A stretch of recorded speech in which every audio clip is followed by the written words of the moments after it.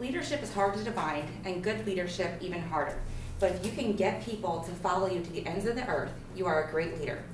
That quote was said by Indra Nooyi, the former CEO of Pepsi. She was right. Leadership is definitely hard to define as I was doing my research. There is no how to of how to be a great leader. Um, any steps that you may find of a how to book, you have to make it your own. And that is what a great leader is. We have all experienced a leader at some point in our lives. A leader can have different roles a coach, a teacher, a boss, a pastor, or even a parent. How many have stood out to you? Why? Did you learn from them? Respect them? If you have someone in mind, you are probably thinking about someone who was kind but tough, treated you with respect, and let you think for yourself. They were a true leader. Leadership is something that I've been passionate about for many years, and I'm fortunate to work, fortunate enough to have worked for a company for the last 12 years who actually believes in their leaders. They spend time and money investing in us.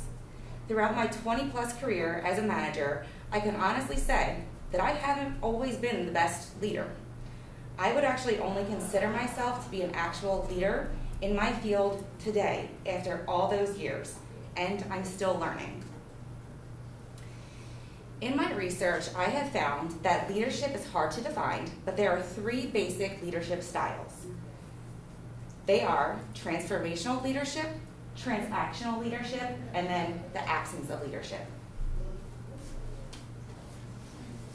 Now let's explore some of these styles some more. Transit, according to the International Journal of Human Resource Management, transformational leadership has four substyles.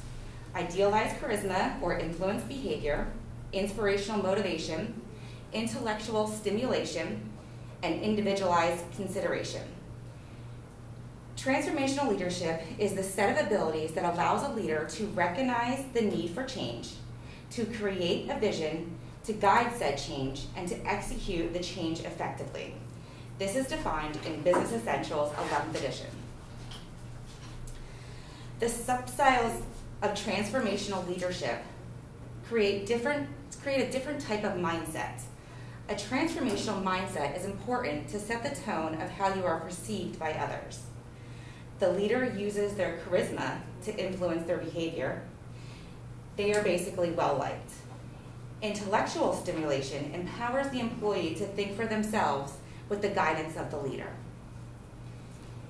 Inspirational motivation creates a culture where the employee does an exceptional job because they actually want to. They are inspired to. With individualized consideration, the leader brings out the good qualities of the, individual, of the individual and uses that to develop them.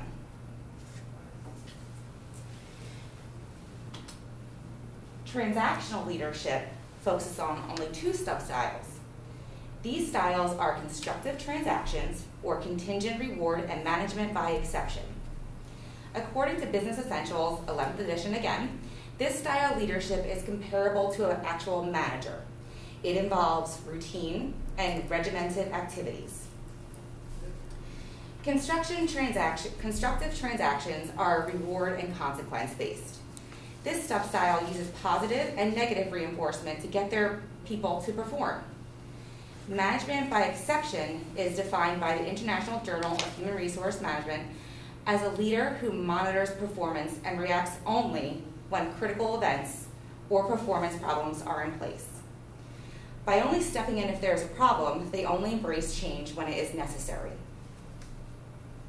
Transactional leadership doesn't sound like the best style to have. However, it is extremely necessary to run a successful business.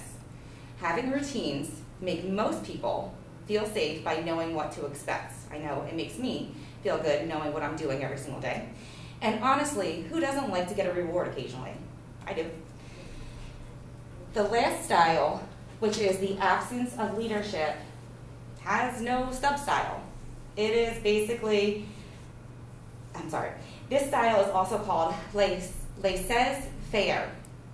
This type of leader is passive and not engaged in the work process or their employees. They do not set clear goals, expectations, or have a vision. Now, some may like to work for a leader like this. They might like being able to do whatever they want, whenever they want to, just as long as they're getting their job done. Whereas others may feel as if their work is unimportant and ultimately become complacent. After learning about these different types of leadership styles, I started to wonder where do I land? Which one should I be? I decided to do some more research and found that also according to the International Journal of Human Resource Management, the optimal leadership style is a mix of all three. Yes, even the absence of leadership. It turns out that people respond to leaders who inspire them.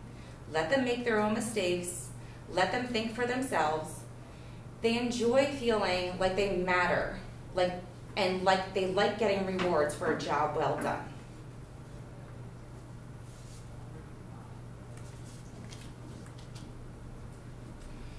Before I end my presentation, I wanted to leave you with another quote. There were so many to choose from, but this one by Maya Angelou stood out to me. I've learned that people will forget what you said, people will forget what you did, but people will never forget how you made them feel. Thank you. And I added pumpkins.